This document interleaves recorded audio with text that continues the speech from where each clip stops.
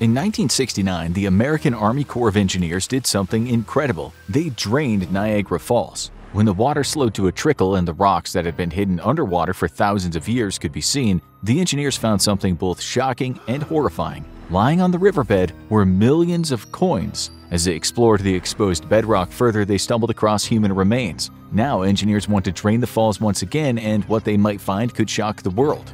In the coming years, the waters on the American side of Niagara Falls will be diverted to the Canadian side, and the rock bed will be exposed. In 1969, researchers needed to explore the riverbed and examine the walls of the river to identify points of erosion and better understand the rock composition of the area. This time around, engineers are going to take the opportunity of a drained Niagara Falls to repair bridges that have been in use for over a century. There are two parts to this story. The first has to do with the amazing feat of engineering used to drain a waterfall that dumps thousands of gallons of water every second into the river below.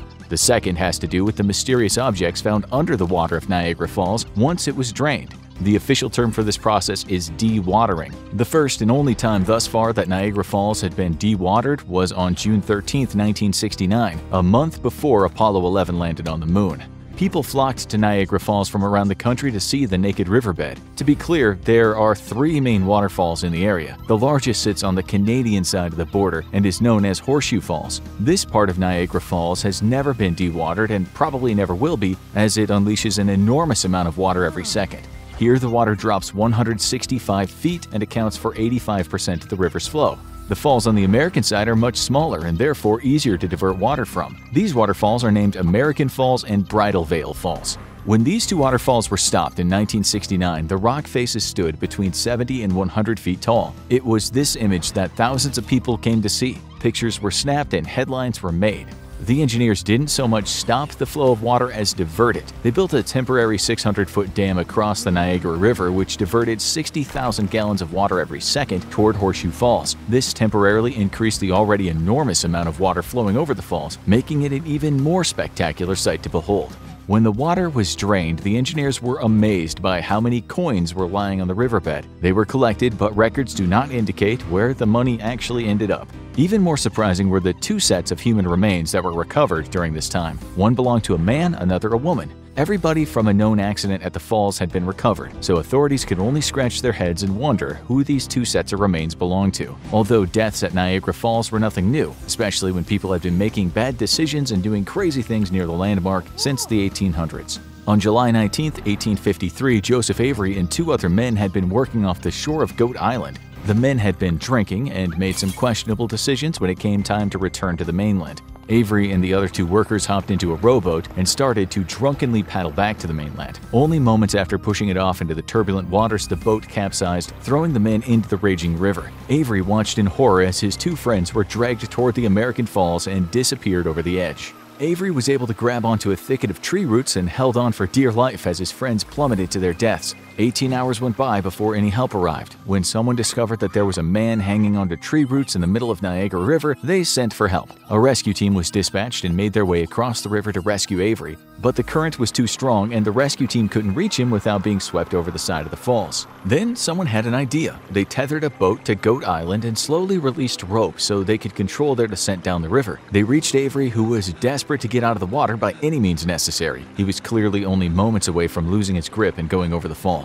The boat reached Avery, but as he scrambled to climb in, the turbulence caused the entire vessel to capsize. Avery was thrown back into the raging water, swept downriver, and plunged over the falls. Even after struggling to survive all night and almost an entire day, Joseph Avery died on the American side of Niagara Falls. After his death, the rock that he clung to was given the name Avery's Rock. But not everyone who goes over the falls dies. In fact, some people chose to go over Niagara Falls for some pretty crazy reasons. On October 24, 1901, Annie Edson Taylor became the first person to go over the falls in a wooden barrel and survive. The emphasis here is that she was the first person to go over Niagara Falls in a wooden barrel and live because two days before Annie set her cat over the waterfall to see if it would survive.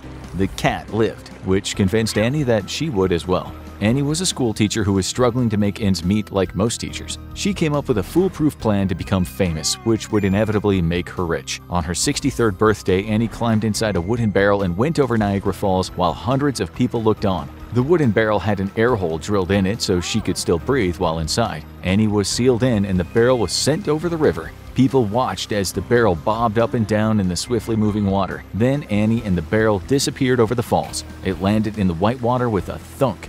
When the barrel was recovered, Annie was found alive with a few bumps and bruises but otherwise physically unharmed. However, her plan was shattered when she wasn't swarmed by fans. Annie received almost no proceeds from her stunt, and when she passed away from natural causes, her funeral had to be paid for by public donations. But the fact remains that Annie Edson Taylor was and will always be the first person to ever survive going over Niagara Falls in a barrel. And that brings us back to the dewatering of Niagara Falls. Joseph Avery was not the last person to be tragically swept over the falls, and not everyone was as lucky as Annie Edson Taylor when trying daredevil stunts at Niagara Falls. Therefore, it wasn't surprising that when water was diverted from the American side of the falls, bodies were found. The first body belonged to a female. She had decomposed and only her bones remained. The entire research project was halted as investigative teams were brought in to preserve the remains and identify who they belonged to. The team removed the skeleton and took it back to the lab for analysis. The recovery of the remains was a success, but the identification of who they belonged to was not. To this day, we still don't know whose bones were found when the American side of Niagara Falls was drained. But this isn't the most gruesome story to come out of the draining of Niagara Falls in 1969. When the water stopped flowing and the research teams began their work, something horrifying happened. As researchers and engineers worked in the dried riverbed and people flocked from around the country to see a dry waterfall, a man walked up to the newly exposed rock face and fell. Several witnesses saw the man fall and land somewhere in the rocks below. Rescue teams were sent to find the man. It took several days, but eventually the body was recovered and work could once again resume on the dried riverbed of Niagara Falls.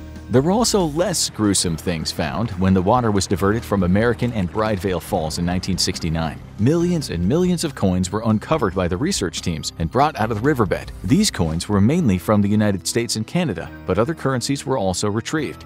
Now that there are plans in place to drain the American side of Niagara Falls once again, many people are wondering what objects will be uncovered under its waters. It's been over 50 years since it was last drained, and during that time we've developed cell phones, drones, and cameras. All of these objects will likely be found wedged in the rocks of Niagara Riverbed, along with more coins. Although there are no known missing bodies from people who have gone over the falls, it's still within the realm of possibility that human remains could be found. Accidents happen all the time, and people might be traveling alone when they disappeared. Only time will tell if more human remains will need to be exhumed from the riverbed of Niagara Falls, and who knows what other objects might be found once the waters of Niagara cease to flow. Now watch crazy, unexpected things that were found inside of people, or check out insane and strange things found on Google Maps.